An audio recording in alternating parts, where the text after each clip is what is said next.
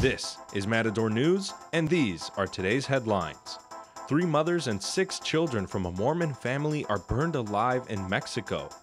Plus, two homicide suspects escape from a California jail. And Lamar Jackson and the Ravens hand the Patriots their first loss of 2019. Hello and welcome to Matador News. I'm Araceli Barriga. And I'm Damian Gordon. Nine members of a Mormon family were killed in Mexico after their cars were ambushed and blown up. Another seven children were hurt and flown from Mexico to Arizona for medical attention. The murder victims consisted of three women, four small children, and two infants. Investigators believe three vehicles traveling from Sonora and Chihuahua were ambushed by criminal groups last night. In each of the three cars attacked, a mother was driving children to see family.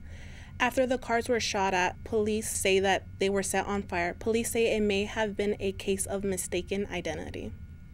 The impeachment inquiry in Washington rolls on this week. Today, House Democrats have released transcripts of the testimony of two key figures in the impeachment inquiry. Democrats also are requesting the appearance of acting White House Chief of Staff Mick Mulvaney before the committee. It is widely expected that the request will be rejected. Chairs of the committee believe that Mulvaney helped President Trump and his attorney, Rudy Giuliani, withhold aid from Ukraine. Mulvaney is the highest ranked official to be subpoenaed in the inquiry as it reaches its public phase.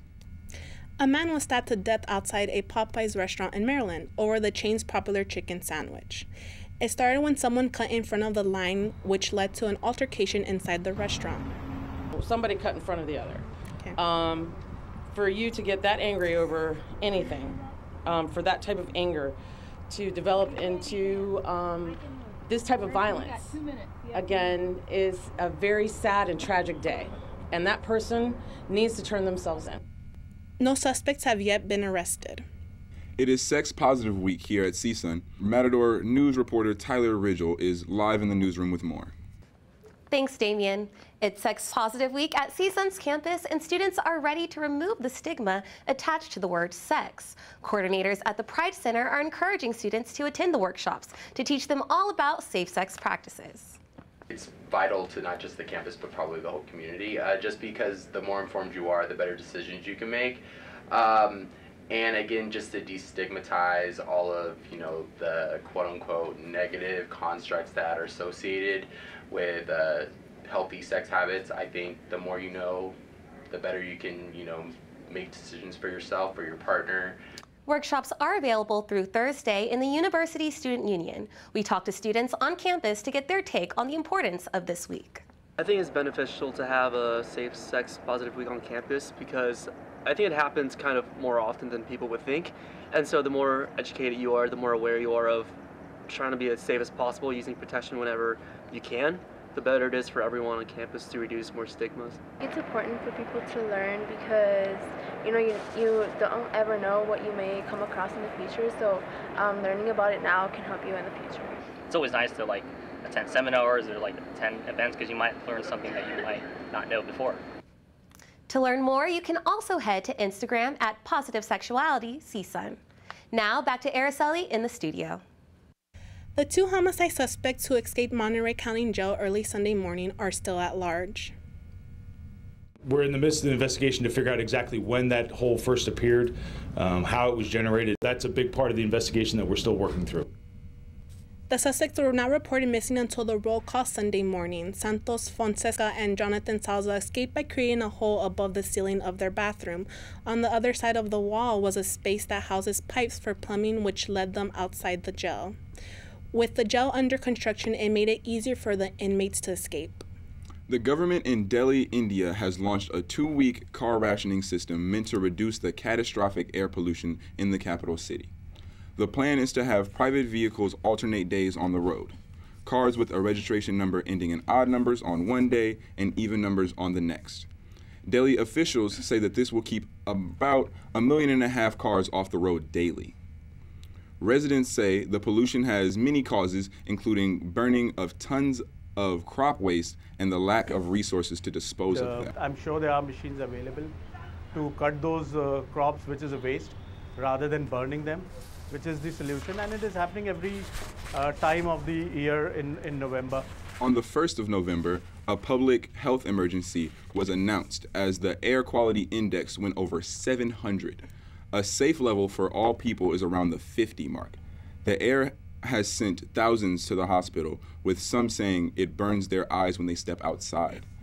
One official says the air in the country is so bad that every single person living in India is a smoker by default. A brush fire sparking in North Azusa was reportedly caused by a car crash on Highway 39. Two people involved in the crash have been taken to the hospital. Officials say the crash happened about 12:30 this morning. The fire is halfway contained. Meanwhile, officials say the biggest fire in California, the Kincade Fire in Sonoma County, ranging for 11 days, is now 80% contained. The fire has burned nearly 80,000 acres, about double the size of San Francisco. Firefighters say they are expected to have the fire fully contained by Thursday. The fire has destroyed 374 buildings. And in Ventura County, the Maria fire is more than 80% contained. The blaze erupted Thursday and burned over 90,000 acres. The county's Office of Education says some schools will remain closed until ash is removed. Now, let's pass it to Omar James for the latest on health news. All right, cool. Thanks, Damien. African American has the largest increase in drug overdose deaths. The deaths involve opioids and synthetic opioids such as fentanyl. The CDC says fentanyl accounted for almost two thirds of the deaths. From 2015 to 2017, almost all racial and ethnic groups in all age groups have experienced significant increases in opioid involved and synthetic opioid involved overdoses. The death rates from those overdoses more than doubled for the African Americans between ages 45 and 54. A group called Legal Cannabis for Consumer Safety is urging California to adopt tougher safety rules for ingredients and devices used in vaping. This is in response to a mysterious outbreak of illnesses apparently linked to vaping. Over 1,600 people have been affected nationwide and 33 people have died. And in most cases involve the products containing the marijuana compound THC. The group also wants to ban the use of additives, cutting agents, and artificial flavoring known to be harmful in cannabis vaping products. Now, let's go to Yarzef Tapia for the latest in business news. Thank you, Omar. Over 1,000 Google employees have signed a letter demanding Google to do more to combat climate change. The letter says Google workers, in agreement with the gravity and urgency of the global climate crisis, call on Google to commit and release a company wide climate plan. Earlier this year, Google announced it would spend $2 billion on renewable energy infrastructure, but employees believe the tech giant needs to do more. Apple announces its plan to spend $2.5 billion to help with California's housing crisis. The company's plan to invest $1 billion for affordable housing and 1 billion on mortgage assistance for first-time buyers. Apple also plans to use land it owns valued at $300 million for development. The $200 million remaining will go towards San Francisco's housing. Officials say around 7,000 people there are homeless due to the shortage of affordable housing in the Bay Area. Apple says the money will be distributed within two years, depending on the availability of projects. Let's go back to Omar for the update on sports. We're over the halfway home mark in the NFL season as Week 9 has officially come to a close.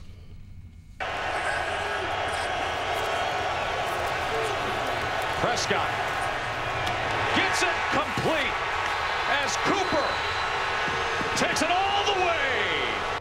The Dallas Cowboys defeated the New York Giants on Monday Night Football behind a strong offensive performance by Dak Prescott and company. He's going to try to lean in, and he's in. Touchdown. Orlando Brown has hold of his quarterback and falls backwards and literally pulls him across the line. Lamar Jackson and the Ravens handed Tom Brady and the Patriots their first loss of the season. Wilson starts the game four for four, and now he throws to the end zone rocket. Touchdown! The Seahawks needed overtime to defeat the Tampa Bay Buccaneers in arguably the most thrilling game of the weekend. The Seahawks are set to take on the only undefeated team left, the San Francisco 49ers, next week on Monday Night Football. The 2019 Major League Soccer MVP is Carlos Vela. Vela is a LAFC forward and scored 36 goals and 15 assists in just 33 matches, winning him the 2019 Golden Boot Award. I want to be here. I feel this is my home, and if the owners don't make me go home soon, I will be here for a long time. LAFC had a historic season, securing the Supporters Shield for the most regular season points. The club fell just short in the playoffs after losing 3 1 to the Seattle Sounders in the Western Conference Finals. The MLS Cup final is set to take place Sunday between the Seattle Sounders and Toronto FC. Let's toss it to Lily Morales in the newsroom with more on the Lakers. Thanks, Omar. The Lakers on Sunday night defeated San Antonio Spurs 103 96. LeBron James had a triple double with 21 points, 11 rebounds, and 13 assists. Anthony Davis led his team in scoring with 25 points and 11 rebounds. Yesterday, Davis paid a visit to his alma mater, Prospective Charter School, in his hometown of Chicago. Davis was asked whether he'd play for the Bulls. He says he is thinking about it. We asked some students what they think about Davis uh, leaving. I understand he is from Chicago, so he might want to go back home. But I think if the Lakers win the championship, he gonna stay. Or if they go pretty far in the playoffs, he gonna stay. That's false, man. He has a great season so far in the Lakers. The Lakers look really good this year with LeBron, Kuzma, a couple of other players too. Uh, at, they could win a championship this year, and if they win a championship this year, there's no other place Anthony Davis is going to go but stay in, the, uh, in LA and re-sign with the Lakers again. why would he? Why would he do that? Uh, that's honestly like, that's cap. We are five and one right now. We have won five straight. This team looks like they're poised to win a championship. He's he's good here. You know, he's in LA. He's living the LA life. I really don't see why he'd go to Chicago. He'd go to cold Chicago and shoulder with who? Zach LaVine. What's he gonna do there? No, no. Now let's go back to the studio with Omar with more sports. Dodgers fans will be pleased to hear outfielder Cody Bellinger was announced as the finalist for the National League Most Valuable Player Award. Bellinger was also awarded the Golden Glove, and Dodgers pitcher Hyun Jin Ryu was named a finalist for the NL Cy Young Award after posting a 2.32 ERA. It's pretty impressive. Now let's go back to Yarzef with the latest in entertainment. If you're into racing movies, well then get ready for Ford vs. Ferrari. The movie, which premiered last night in Hollywood, stars Academy Award winner Christian Bale and Matt Damon. It's not your typical competitive racing story, but about two friends, Carroll Shelby and Ken Miles, who partnered with Ford Motor Company to beat Italian sports car designer Enzo Ferrari at the 1966 Le Mans. The true story between the two automakers will premiere November 15th. Terminator Dark Fate bombs at the box office, and it makes it the second major failed release for Paramount this year. Terminator was projected to open at about $40 million, but grossed only 29 million in the US and 102 million overseas. Despite good reviews and the highly anticipated return of James Cameron and Linda Hamilton, Dark Fate barely opened higher than 2015's Terminator Genisys that opened at $27 million. Variety reports Dark Fate cost 185 million to produce. Movies to look out for this week are All Americans, Playing with Fire, and Last Christmas. Now let's go back to Damien for the rundown on this week's weather. It is 73 degrees right now in Northridge. Today we will see a high of about 87 degrees with clear sky and slight winds up to 4 miles per hour. Humidity sits around 20% today, so you shouldn't have to worry about your hair. The weather will be beautiful for the rest of the week as we will be in the 80s for the next seven days with no clouds in sight. Adidas is partnering with International Space Station on a path towards innovation. The apparel company and the U.S. National Laboratory launched a multi year partnership of which the two will work towards three phases. The vice president of global brand strategies for Adidas said their idea is to maximize the unique lab characteristics of the International Space Station, like microgravity for production research, with a focus on humans' performance for athletes. Part of what they will develop will be a 100% recyclable heel to toe performance shoe.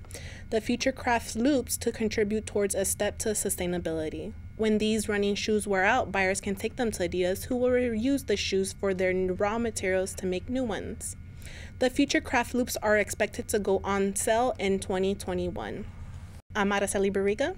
I'm Yarisa Tapia. I'm Omar James. And I'm Damian Gordon. Thanks for watching. We'll see you next week.